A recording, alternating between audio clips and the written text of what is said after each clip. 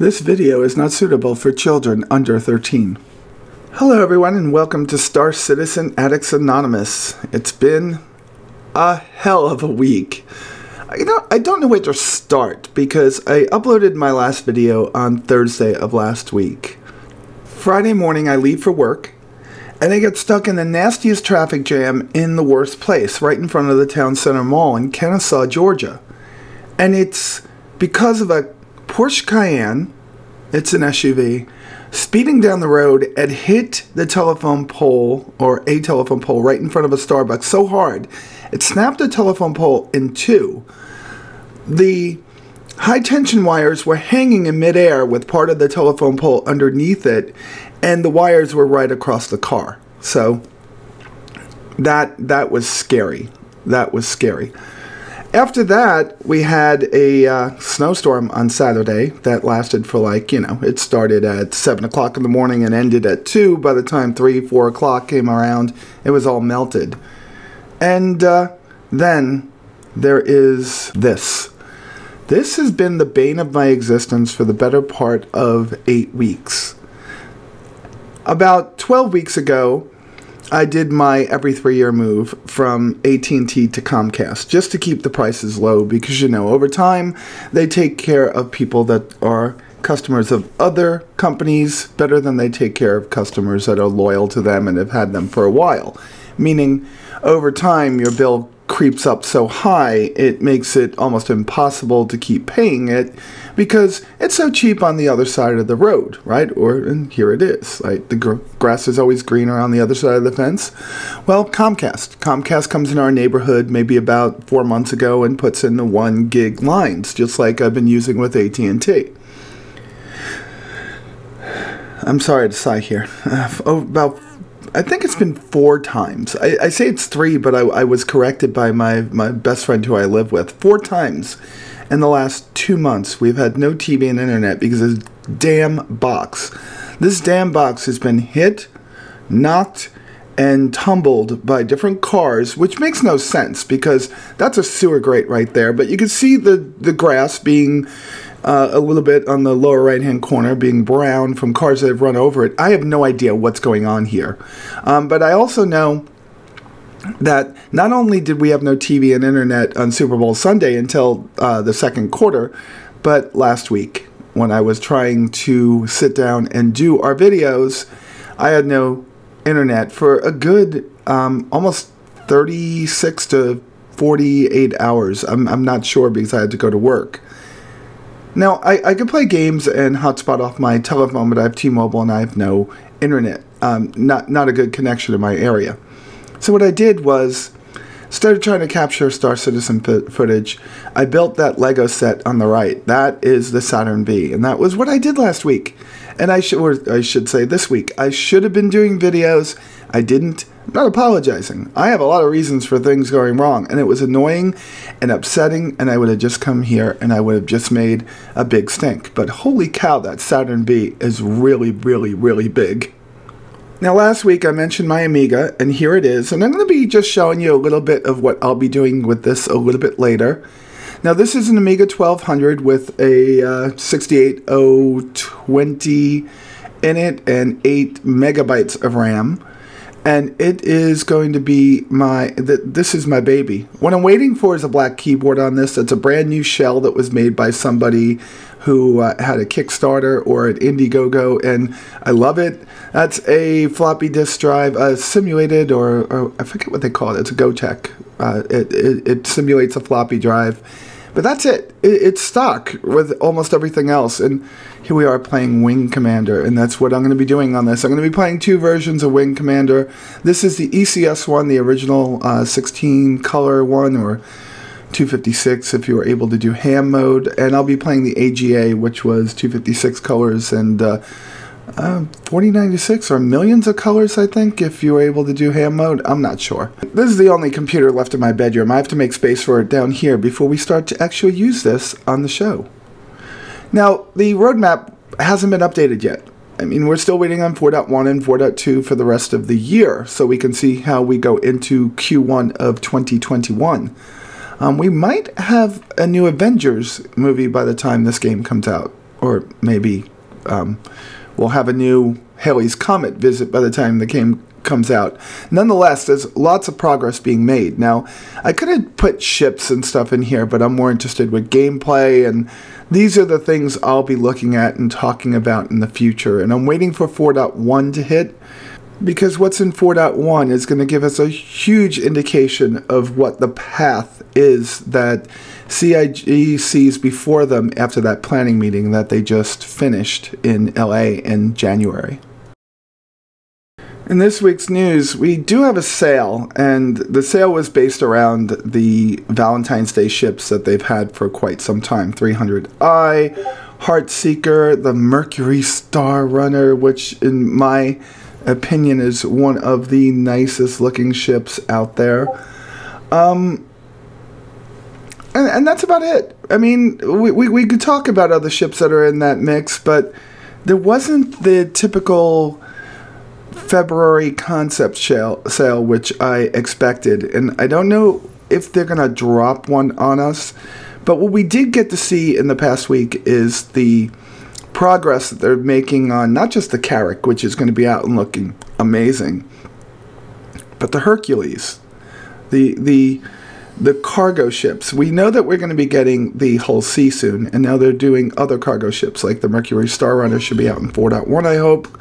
Fingers crossed you have the Hull and you have the Hercules. And I feel like this is going to help us flesh out that whole, um, I want to call it the logistics gameplay, right? The cargo gameplay, which means I'm hoping that at some point they drop us the Hull A and the Hull B because those were the little ships that helped unload the bigger ships so you can actually get cargo to the stations or down to the planets, or the smaller ships that are able to go between stations inside of a, a, planetary system, not so much a star system or interstellarly. And I'm really looking forward for that. So I'm going to address a couple of comments on my show last week, and they have to do with immersion and they have to do with population. And this is something that's very important to me. I know a lot of people out there are like, just stop with giving me all these different features that make the game feel real and just give me a game. Because a lot of people might be frustrated, like I am, that we've been waiting for so, so, so, so, so long for this game that you just want something. And this wonderful, um, almost persistence, almost persistence game, almost persistent game is just not a game because it's just missing so much right now. And I, and I feel like there's going to be a lot added this year. But immersion to me is one of the most important pieces of the game. And immersion and server population go hand in hand with me because I want to feel like I'm not just this lone person in the middle of I, don't know if you remember the commercials where the guy's running back and forth all through the different places and he's like, hey, where is everybody? And then they talk about the low airfares and how people are just going on vacation or holiday if you're from Europe. Um, to me, I feel like that when I go to different cities. It's just like there's nobody there. I could play Star Citizen for a while, see that there's 20 people on, maybe 30, and I see nobody. And the biggest problem with that right now is not that I see nobody that's real, because I'm going to say it this way. Say you have a server that can handle 5,000 people. And I know that CIG has aspirations to handle more than that, so I'm going to keep it to 5,000. And let's say it's two years from now, so we don't have two star systems, we're up to eight because suddenly Star Citizen is kicking into high gear because Squadron 42 was released, and now they have a lot more people on making Star Citizen. I'm just saying this could happen. I'm not saying it's gonna, but it could happen. So I have eight star systems. So you have eight planets. Each one of those eight planets has about five landing areas. So now you have 40 places to put thing, you know, for people to be in those eight systems. But then you have four moons in each one of those. So now you have eight times four, that's 32 moons they could be on with the 40. You know, you could be going on with this. So you can have hundreds to thousands of places for those 5,000 people to be. So you're really going to feel at times that there's nobody around you except for the people, the real life people that you take with you, because Chris Roberts wants this to be a game experienced with your friends and family, and not just a game that you go in and play by yourself. So, this is one of those things that to me is game breaking or game making, right? How do you how do you split that difference? How do you make it seem immersive, seem like you matter, seem like you're not alone in the game, while at the same time giving people a lot of places to go and a lot of things to do. Because remember, some people might be mining in caves or mining in asteroid belts or mining planets off of rocks, you know, mining rocks off of planets, sorry about that. Some people might be moving cargo, some people might be bounty hunting, others might be salvaging, others might be going on mercenary missions to take out Vanduul outposts that they suddenly found popping up inside their star system. So people will be doing all different things. But when you're done, you're going to be going back to different planets, different stations, different moons, and there has to be some type of immersion there. Some type of functionality, feature set, some system that makes you feel like you're part of the world. Enter what Tony Zurovec calls subsumption. Now, it's taken me a long time to wrap my head around subsumption because I've been an MMO player for very, very many years. I mean, I'm in my 50s now, and I, I even played MUDs. So, I mean, that's how long I've been playing things like this. But in the world of MMOs, let's go back to the original two that I played, which were, well, the original three, the original four, well, EverQuest and World of Warcraft. And we're just going to call them EverWow, whatever you want to say. Every time you walked into a city, the NPCs were in the same place standing, moving, dancing, whatever. Exclamation points above their head, never different, didn't have homes, didn't have jobs, just were there for us to go and click on and find out what either our quest was, or our next step in the quest was, or what our reward for completing the quest was. And that was it. I stayed there. It never rained. The wind didn't blow. Cars didn't come by. Horses didn't come by. That was it. So, if you were playing alone, you felt kind of bored after a while. This subsumption engine looks to alleviate this feeling of being alone. It looks to alleviate the feeling that the world is really dead and not organic, not living, breathing, and working around you. With this subsumption engine, I, I don't know if it's AI or very intricate scripts or very intricate um, little mini shows that are played for you. With this subsumption, the idea is that let's say Jane Doe and John Smith live on Yela. No, let's say they live on Hurston and one lives on Microtech. Okay, so Jane Doe lives on Hurston. Jane Doe is a cargo runner. So Jane Doe has a home. She's living in one of the tenements on Hurston. She gets up in the morning. She moves around her apartment. She might wipe something, she might do something, she leaves her apartment. Now, all this stuff we'll never see, but it's just an idea that they have. The parts that we will see are her leaving her apartment. She walks to the elevator, takes the elevator down to the ground floor. Jane Doe leaves, just like us and walks through, let's say, she walks through Lorville. She goes over to the admin building. She walks over to the console. She touches some things.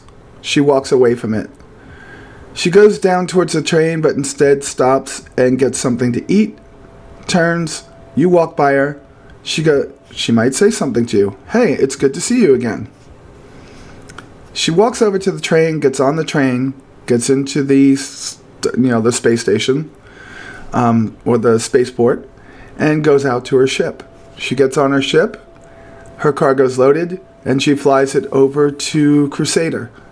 and lands and goes about her day there, and then goes home, lands, takes the train, and goes back to her apartment.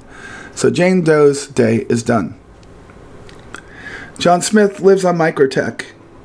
He has a job as a bartender up in the Tesla, I think it's Tressler space station.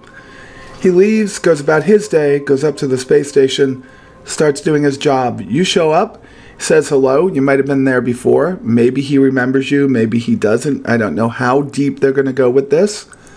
But he is wiping the bar, coming out from behind the bar, wiping tables, walking up to customers out there. You might hear them talking to each other, and then comes back.